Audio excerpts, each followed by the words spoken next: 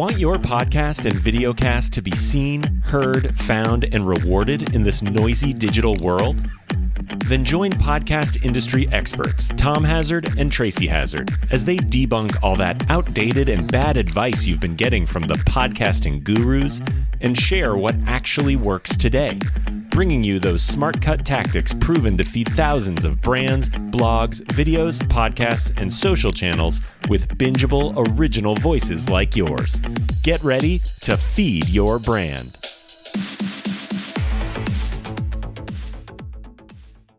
Hey everyone, welcome to Feed Your Brand. I'm Tom Hazzard, along with my co-host Tracy Hazzard. Today we're going to talk about reflecting on the past year of podcasting and projecting intentions for the next year of podcasting. I think it's a great thing to do this time of year, don't you, Tracy? Yeah, I mean, I think look, whether you do this periodically throughout the year, which I recommend. Like I recommend, you know, if you started your podcast in the middle of June, a year later, you should reflect on it, right? You know, you should always it for me, it's about every 50 episodes. Like every 50, 52 episodes, you should really reflect on it. But for some, they just have more opportunities at the start of a year or the end of a year. It's just, you know, maybe you have some downtime and some time to really think about what you want to do. And that's the reflect part, right? So if we reflect on that past year of what it is, then we can make some plans some intentions for the next year. And I'm all about intention. That is my theme for this year. Well, it sounds great. What what are some of your intentions for the well, next year? Let let me talk a little bit about the reflection side because it hmm. goes to the intention, right? So I mean, look, there are different intentions for things that you might want to do. So sometimes things are cogs and pieces and tools and the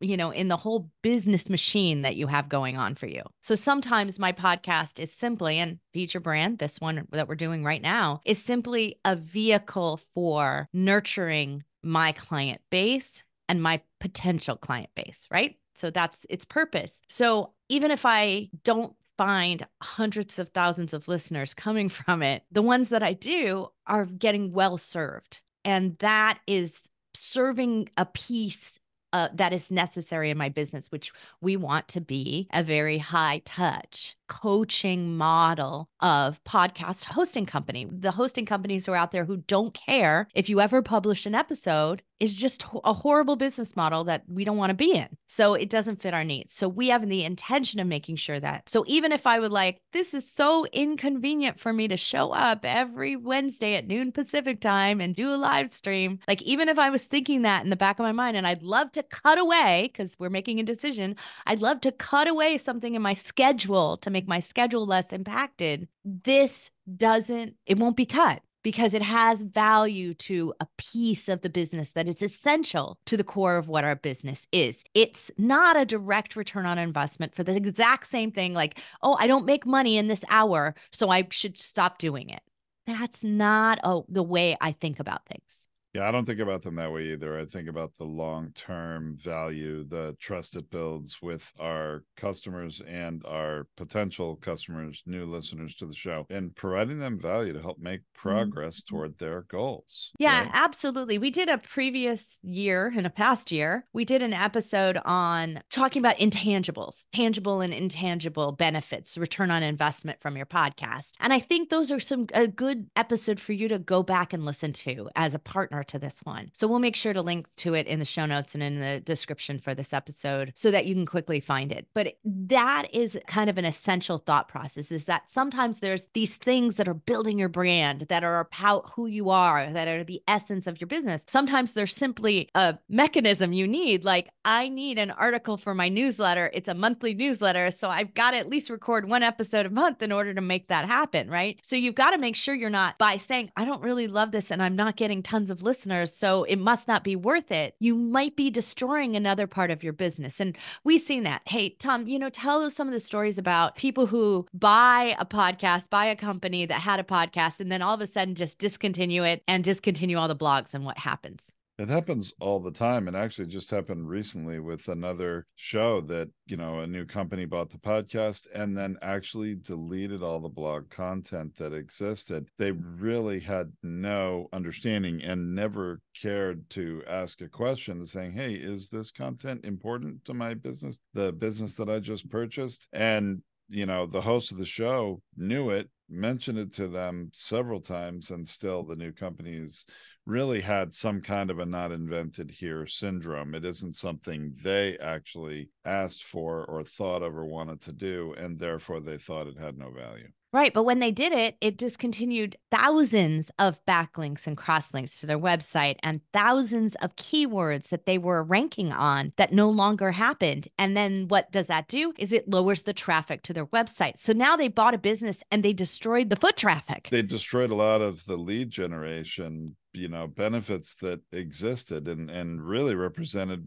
in my opinion one of the largest value propositions of the podcast for this business Right. So then you do that and you now then destroy the ability for you to get new listeners and to grow uh, in that way and and for the business to generate leads. So all of those things combined, you have to make sure that you're thinking about this. Just because you want to pull this away, you might then find out like, "Hey, I don't feel like doing my podcast anymore. This isn't for me this year." The next thing you know, you've got nothing. You're going to work 10 times harder because you've got nothing to put in social media. You've got to now create videos. You've got to now do that work and you're doing separate work in addition to it. So it's way more effort if you aren't taking a full consideration and look at all the things that your podcast might be bringing you and feeding you. So that's why you really need to sit and reflect first on what has it been doing? Where has it been going? Where have we been using these pieces? What's been happening with this? And what happens if I decide I don't want to do it? Because then maybe it's not an option. And if it's not an option, but you feel that your podcast isn't working for you or something's not right, now you can consider what would make it right. And that's when we can make some new intentions and new projections about what we want to accomplish and do in the next year. That sounds great, Tracy. You know, my biggest thing I want to accomplish in the next year is get all our podcasters more listeners. That is what I want to do. Yeah, because they don't do as good a job at promoting their show as they should. Some do. Uh, it's hard. Well, look, some do a better job than others, but all too often they're relying on their guests to do it only. And you know, guests are a great way to help promote your show if they mm. do it. And, you know, we always incentivize our clients' guests to share their show. Still doesn't really make them do it. So I've always been frustrated in our podcasting experience now about a decade that, you know, there wasn't a more easy and measurable way, meaningful way to get more listeners. And so that's what we're working on here at Podetize in 2024 and have multiple different new programs that we are using uh, to actually get our customers more listeners and that that's that's but I'm it's not like we haven't been testing and working on this like this is the sure. other thing it's like so at the start of a year we take a look at what are we going to research and what are we going to test? What are we going to put into that beta mode so that we can be working on solutions and then we say, okay, what's coming out of beta? What's going into full force because it's working? It's done exactly what we said it would do. We are achieving a measurable return. It's worth selling. It's worth doing, whatever it might be. We then implement those things as well. And then we look at the gaps and we say, where didn't we do well? Where could we do better? Like on the podcast here, we took a look at the podcast and we said, you know what? We've had we've had tremendous benefits from the live streams. We've actually gotten clients from it. We've gotten a lot of information out of it. So, what can we do better? Well, we put into research at the last half of the year, research on YouTube. How can we use the podcast and live stream better on YouTube? And what could we do over there? And now we're about to put that into full implementation. We've done a bunch of tests. We've come up with some learnings. We came up with a hypothesis. We tested out that hypothesis. It worked in a small way. And now we're going to magnify it and we're going to make it go big. And so we're going to elevate that podcast model in YouTube and we're going to bring it to our clients as well. So like these are this is the flow through of things that come out of testing and then move into full implementation for us and that that's our model of doing it is but it comes from reflecting on something and saying i'm not getting what i wanted out of it how can i get that? What's the path for that that I'm going to try? And that's really what we look at when we put together a plan. Because look, at the new year, everyone kind of goes through and they make their New Year's resolution. We don't make resolutions, we make projections. So we do it a little bit differently. We set intentions and we make projections. And so we say, this is what we want to accomplish, this is its purpose, and this is the expected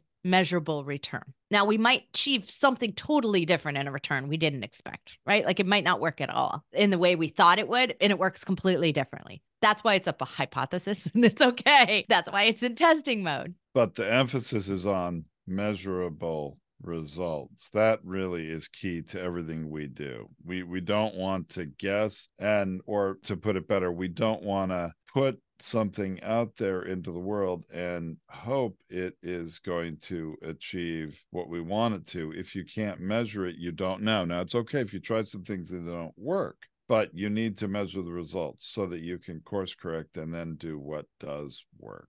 Right. And for me, those sometimes those things are less work like it feels like less work like it's less touch points that i have. It actually simplifying the process easing things up it doesn't have to be a oh i got 10,000 listeners right? Like that there is not a clear cut answer for every single person. There are those intangibles and tangibles i talked about earlier that we talked about in a previous episode. Those things are still measurable though for you because you know i come into this call and it's an excitement for it. It's not a, oh God, I got to record my podcast today. Right. So that's different. If that changes over the course of the year, that's still measurable. You may not like, you know, have a specific, like, you know, measure my happiness level, but you can feel the difference. It's measurable in your own, in your own ruler, your own scale right? And that's what we want to have is we want to have something that says when I get in and I do this, this intention is going to have this effect, this result. I agree. Well, everybody should keep your eyes and ears open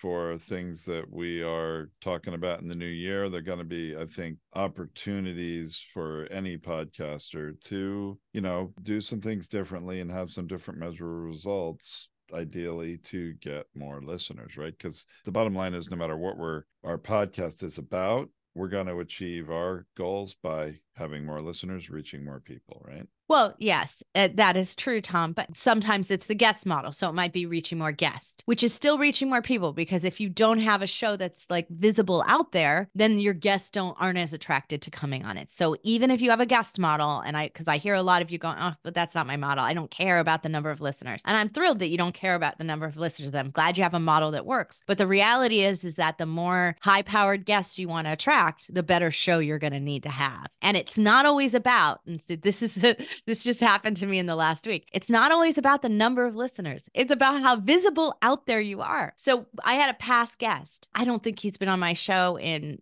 three years, maybe. It's been at least three years, maybe even longer. Maybe 2019. It was the last time he was on the show. And my name came up in some kind of call that he was on with somebody who's a partner with us. And the next thing you know, he was like, I saw you in seven places in two hours. I saw you on LinkedIn. I saw you on YouTube. I saw you on Facebook. I saw you here. I saw you in someone's newsletter. And so he just looked at all these things and said, I'm missing out not talking to you. How did that happen? So he became aware of me, and then all of a sudden I was everywhere. That has nothing to do with the number of listeners. It has to do with how good I am at repurposing and, and connecting and having people share our show because a lot of those came from other people's feeds, not mine. And that's really good. So there are ways for you to still achieve your goals without having it just be more listeners, but it does need to be promotion, right? You're promoting your show, you're out there sharing it, you're out there doing those things. That should definitely be an intention. And it's going to get harder there's a lot of changes coming up that you may not be fully aware of, and you're going to be trying to catch up when the algorithm shifts. So, a lot of you are going to lose a lot of download numbers in the next six months because everybody's resetting their numbers, and there's a bunch of algorithms going in, and IAB is put in a push, and Spotify is put in a push, and you're going to see your numbers down. I think there's lots of people who are already seeing that. And so now all of a sudden you just lost the downloads you thought you had